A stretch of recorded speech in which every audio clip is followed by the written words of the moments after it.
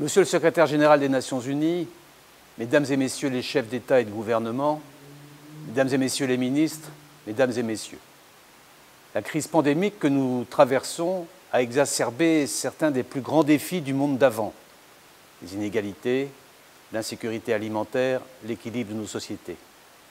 Elle a aussi mis à mal la vitalité de nos échanges et de nos économies. Ce faisant, elle a suscité d'immenses besoins de financement partout dans le monde. À l'heure où se prépare la relance, nous devons veiller à faire les bons choix. Le visage du monde d'après en dépend directement. Nous devons, dans chacun de nos pays, faire le choix d'une relance durable. Rien ne serait pire en effet que de sacrifier aux urgences du moment la nécessité, du reste non moins pressante, de tenir les engagements pris dans le cadre de l'agenda 2030 et de l'accord de Paris sur le climat. Ce serait un désastreux retour en arrière alors qu'il nous faut impérativement aller de l'avant. Comment? En encourageant les stratégies de développement durable bas carbone, en renforçant la transparence de toutes les sources de financement et leur alignement sur les objectifs de développement durable, et en travaillant à construire des sociétés inclusives et résilientes. Nous devons aussi, à l'échelle cette fois de la communauté internationale, faire le choix d'une relance solidaire. Au plus fort de la crise, la France a œuvré dans le cadre du G20 et du Club de Paris pour que les pays les plus vulnérables puissent bénéficier d'un moratoire sur le service de leur dette publique.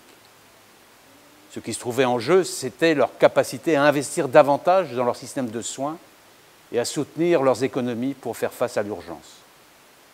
Nous ne voulons pas la face, ce moratoire demeure nécessaire et doit être prolongé au-delà de 2020. Nous devons également mettre en place une approche plus structurelle pour répondre dans un cadre multilatéral, au cas par cas, aux besoins de financement des pays concernés. Et les créanciers privés devront prendre toute leur part à cet effort collectif. Dans le même temps, car la pandémie est loin d'être derrière nous, nous devons aussi investir ensemble pour favoriser le développement et la production de tests, de traitements et de vaccins. Et ce qui n'est pas moins important, garantir que chacun puisse avoir accès à ces nouveaux biens publics communs, puisque c'est bien de cela dont il s'agit. C'est le sens de l'initiative ACTA que nous avons lancée au printemps dernier avec certains d'entre vous. Enfin, les pays qui ont les moyens doivent faire plus en matière d'aide publique au développement, car dans un monde tissé d'interdépendance, en aidant leurs partenaires du Sud, ils céderont aussi eux-mêmes. C'est aussi cela la relance solidaire.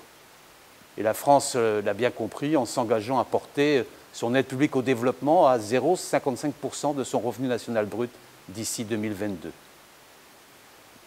Les défis d'aujourd'hui sont des défis partagés. La crise du Covid-19 nous l'a rappelé de façon spectaculaire.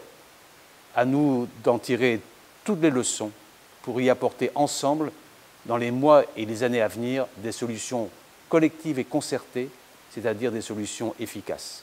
À nous, mes chers amis, de faire dès maintenant les bons choix pour construire un monde d'après plus solidaire et réellement durable. Je vous remercie.